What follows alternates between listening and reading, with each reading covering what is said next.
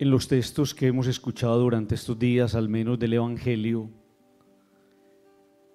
nos hemos encontrado con un Jesús que está desarrollando su ministerio,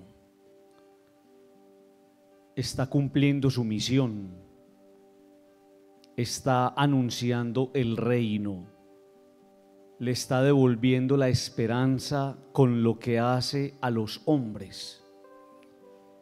Y entonces uno podría decir que el ministerio de Jesús se resume en una palabra. Se resume en la palabra consolación. Porque al mundo le está doliendo la vida. Y entonces lo que hace Jesús es pasar por la vida de las personas devolviéndoles a todos la esperanza. Pero ese ministerio de la consolación se va a desarrollar de una manera muy especial. Jesús entiende que para consolar hay que acercarse. Y por eso es la cercanía la que va a empezar a evidenciar de una manera especial ese ministerio de la misericordia y de la compasión. Jesús no tiene miedo a acercarse. Jesús no tiene miedo a tocar. Jesús no tiene miedo a dar la mano. Jesús no tiene miedo a reconocer que el que está ahí sufriendo también es un hijo de Dios. Entonces cuando pasa Jesús le sacan los enfermos, los endemoniados, para que Él los toque y para que Él se deje tocar por ellos y va uno entendiendo que la consolación también exige un poquito de tocamiento. Pero esa palabra tocar ha adquirido entre nosotros una connotación negativa. Si a su casa llega su hijo o su hija y le dice, mamá, en el colegio me tocaron, usted se pega del techo. Y esa palabra tocar, mal entendida, inmediatamente sugiere un camino de demandas y de denuncias y de seguimientos. Pero desde el Evangelio de hoy se nos está invitando a que nosotros seamos capaces de renovar o de redefinir esa palabra tocar. Porque en el fondo, mis queridos amigos, lo que el mundo de hoy está necesitando es que lo toque. Eso es lo que las personas están necesitando. Las personas están necesitando que les toquemos el corazón. Los que están desanimados están necesitando que les toquemos el alma. Los que están tristes están necesitando que les toquemos la vida con una palabra de aliento. Los matrimonios están necesitando que les toquemos la relación con algo que les diga que vale la pena continuar. Entonces lo que el mundo de hoy necesita en ese ministerio de la consolación es que nosotros seamos capaces de tocarlo. Ayer el Evangelio nos contaba que Jesús fue a la casa de Pedro donde estaba la suegra y Jesús se acercó a la suegra, la tocó, le dio la mano, la levantó.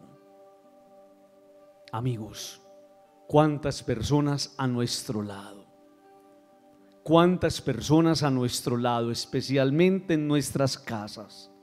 Porque nosotros a veces pensamos que la misión es hacia afuera y a veces pensamos que la misión tiene que superar los límites de mi entorno.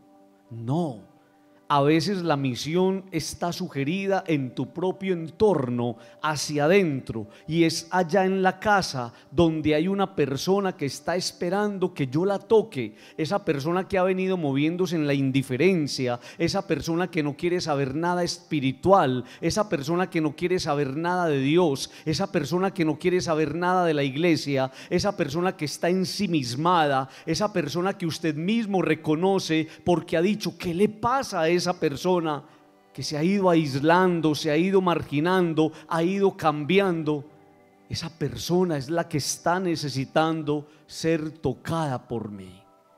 Con una palabra de esperanza, con una palabra de alegría, con una palabra de motivación, con la palabra de Dios que llega a transformar la vida de todos. Pero alguno de ustedes me podría hacer una pregunta y me podría decir, Padre, ¿uno cómo hace para experimentar que Dios lo toca? O más aún, ¿uno cómo hace para en nombre de Dios aprender a tocar esos corazones heridos y destrozados? Y a mí me llama la atención la primera lectura que escuchamos cuando Salomón está transportando el arca de la alianza al templo de Jerusalén. ¿Qué pasa con el arca?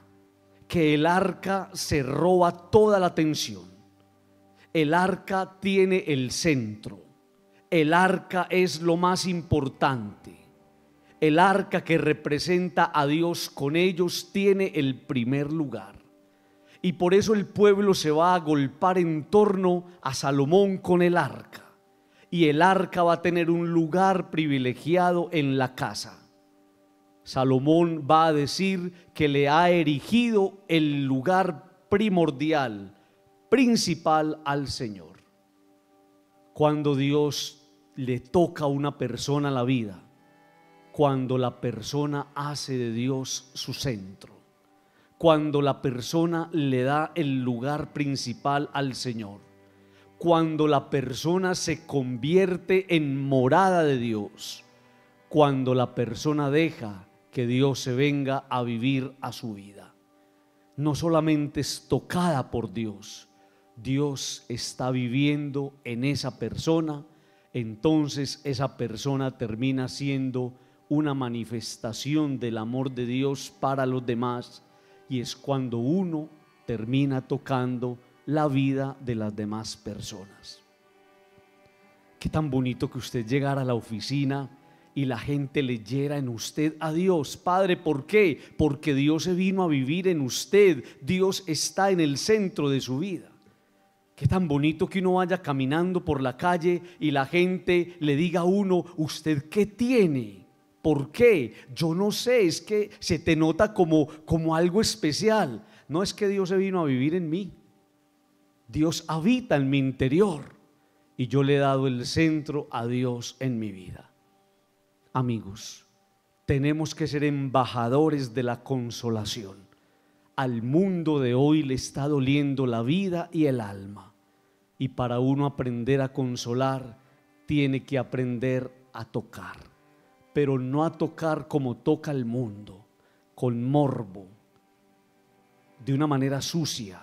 No, el mundo de hoy necesita que lo toquemos con evangelio, con testimonio, con la alegría y con la caridad.